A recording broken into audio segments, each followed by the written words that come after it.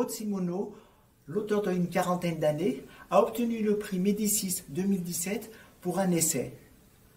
Ce premier roman, L'enfant céleste, est sélectionné pour le prix concours des lycéens et aussi pour le prix concours de la Pologne et de la Roumanie. Dès sa naissance, on le sait. On se dit que cet enfant-là est différent. Pourtant, on ne le formule pas. On vient d'une famille pudique et puis, bien entendu, toutes les mères doivent éprouver ce sentiment d'être devant un être singulier, forcément merveilleux.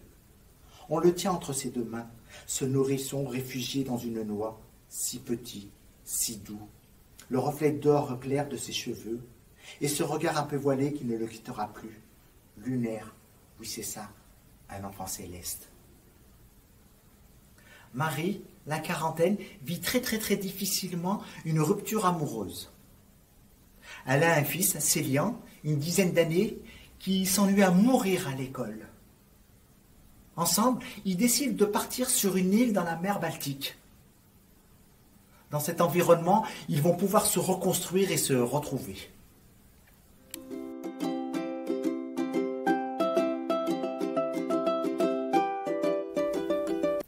Ce roman de la rentrée littéraire est mon coup de cœur. Maud Simoneau, l'auteur, a décidé d'utiliser trois sujets dans ce roman.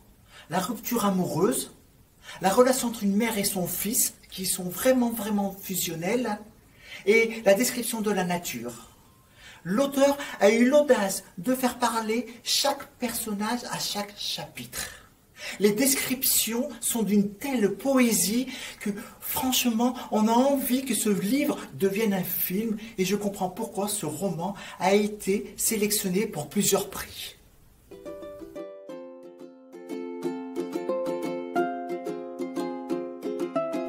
J'ai tout écrit pour.